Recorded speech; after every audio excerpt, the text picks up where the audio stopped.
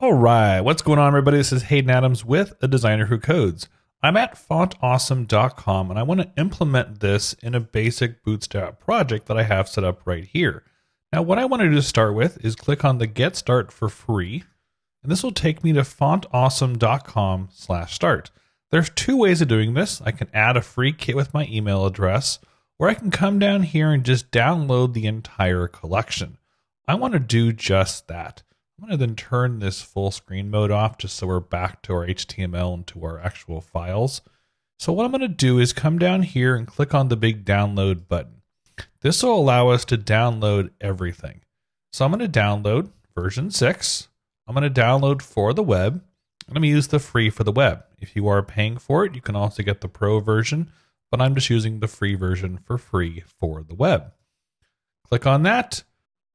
And what I get result is this folder for Font Awesome Free 672. Now what I want to do is I want to bring two folders in here into my project. I've got an HTML document, a CSS file, and I'm going to create a new folder that says Font Awesome. In here, I'm going to bring in two folders. I'm going to bring in a CSS folder. I'm going to bring in the web fonts folder. We need these two folders. So I'll option drag on the Mac, drop them in, and what I should get now is a CSS and a web fonts folder. Now, what I have to do is bring in at least two CSS files.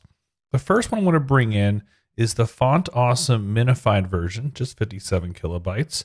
And for this project, I'm just going to focus on brands.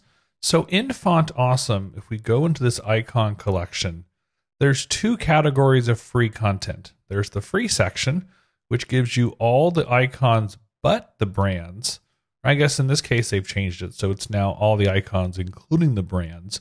Or if I just want the brands, I'm going to bring in some social media icons. So it shows you all the brands that are available through Font Awesome. So now that we have these in our project, we can then link them up inside of our document. So if we head over to HTML document, I'm going to put it after I have got Bootstrap in this project, and I also have a custom CSS file. I'm going to put it in between the Bootstrap and the CSS file.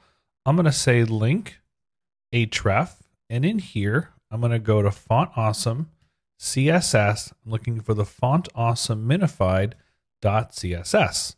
I'll say rel equals style sheet, close it on up.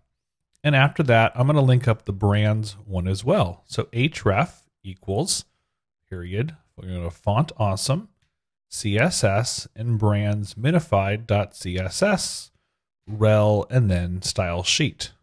Drop it in right here. Now that we have our CSS files in here, it's time to go grab a few brands. What I want to do is I'm going to search for some social media. So first I'll do is I'll grab Instagram. On the Instagram brand, we're going to copy this copy. I'm going to copy this copy. Sorry, I'm reading it too literally. I'm going to copy this code snippet right here. And if I drop it in, since I do have Bootstrap in here, I'm going to say div class container. And if I drop it in, if I paste it in right there, all of a sudden the Instagram icon shows up. Let's move that hello world inside that container as well. Now that we have the Instagram icon, let's actually add a div tag. Actually, we'll add a paragraph tag. Let's do p tag. We'll have Instagram and then we'll drop in the Twitter icon as well for this project. So if we head back to Font Awesome, we're looking for the Twitter icon. We can either type it. So if I type Twitter, should still be labeled as Twitter. So we have the Twitter icon and then the X Twitter icon, whichever one you want to use. I select to stick with the bird. So we'll copy the code snippet and drop it in right here. Now, the great part about this is that these icons will take the design or the size of whatever the parent tag is. In this case, we've got paragraph tags, but if I drop in an H1 into this as well, watch what happens to Instagram icon. It takes the size of its parent, which in case is the H1. Now, if you want to go even bigger within this design, you can also add a size as well.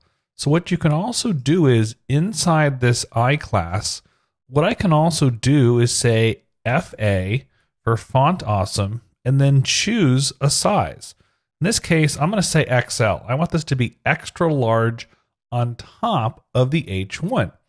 Now we can get bigger and bigger. We have 2XL. I think we have 3XL as well. Nope, just a 2XL, as large as we can go. So what you can do is you can say, I want this bigger than the default H1. Sometimes I use this, sometimes I don't. It all depends upon how big or small I want these icons to be. In this case, I'll bring it back to the H1 and then back to the paragraph tag for the Twitter. But here's how you can bring in your font awesome in an HTML CSS project.